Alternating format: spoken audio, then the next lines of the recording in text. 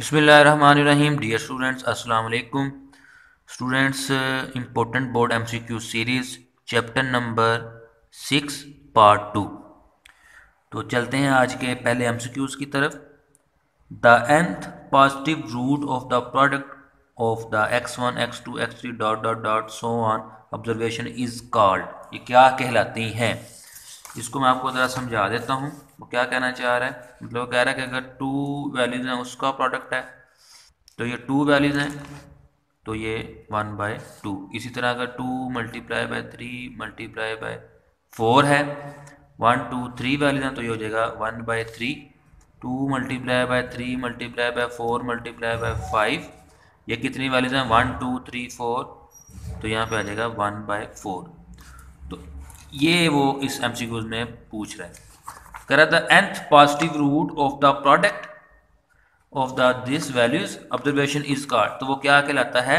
Geometric mean आपने question हल करते हुए देखा होगा कि इस तरीके से जो आप वैल्यू फाइंड करते हैं, वो ज्योमेट्रिक मीन कहलाती है।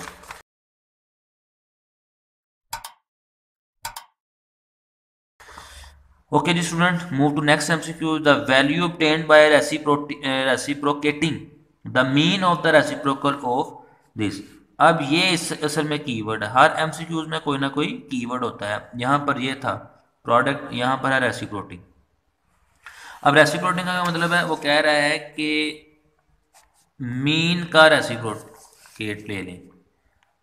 ये है रेसिप्रोकल तो जिस तरह टू है टू का रेसिप्रोकल है वन बाय टू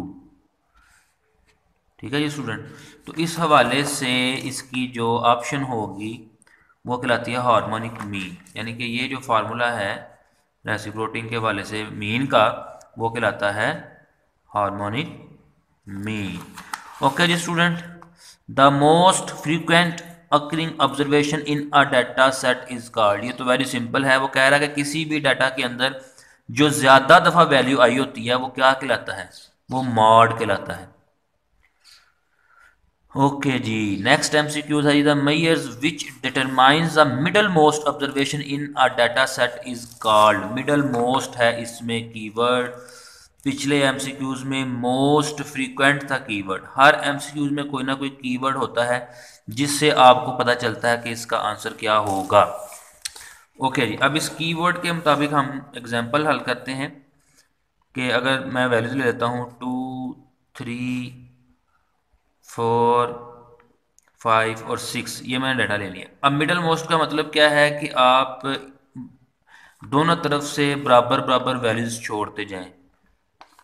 ये देखें, मैंने इधर से भी दो वैल्यूज़ छोड़ दी हैं, इधर से भी दो वैल्यूज़ छोड़ दी, दरमियान में अकेली एक वैल्यू रह गई है।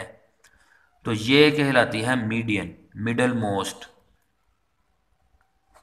middle most value middle most value जो है वो मीडियन कहलाती है। तो मिडल मोस्ट का ताल्लुक मीडियन के साथ है। ओके जी।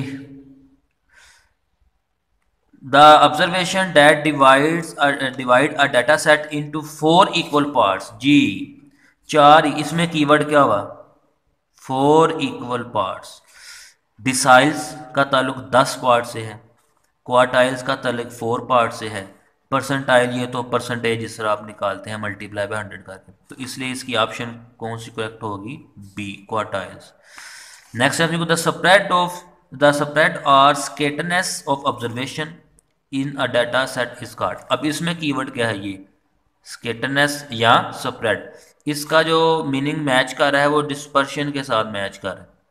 ठीक है? एवरेज के साथ नहीं कर रहा सेंट्रल टेंडेंसी के साथ नहीं कर रहा। स्प्रेड और स्केटनेस का जो मीनिंग है, बिखरना या फैल जाना, वो डिस्पर्शन के साथ कर रहा तो इसलिए option B is correct okay ji student चलते हैं। नेक्स्ट एमसीक्यूज की तरफ़ the measures that are use to determine the degree और extent of variation in a data set is called ठीक है जी, अब इसमें भी ये डेफिनेशन के हवाले से आप इसको देख सकते हैं।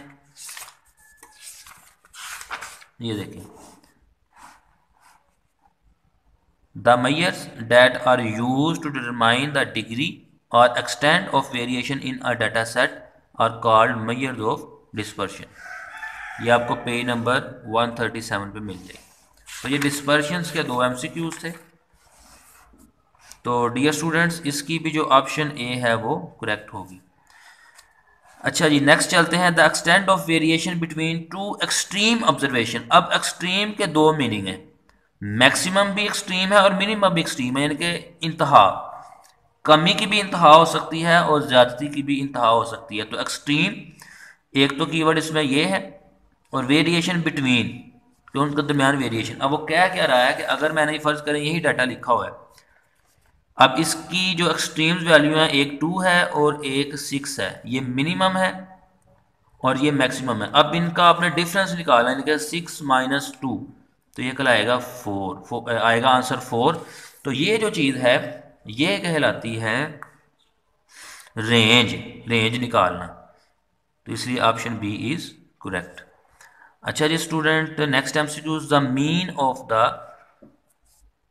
the mean of the square deviation of this ये वैल्यूज़ हैं ऑब्जर्वेशन हैं फ्रॉम देयर अरिथमेटिक मीन यानी कि अरिथमेटिक मीन में से स्केर्ड की वैल्यू माइनस करनी है. अरिथमेटिक मीन में से स्केयर की वैल्यू अब आए ज़रा।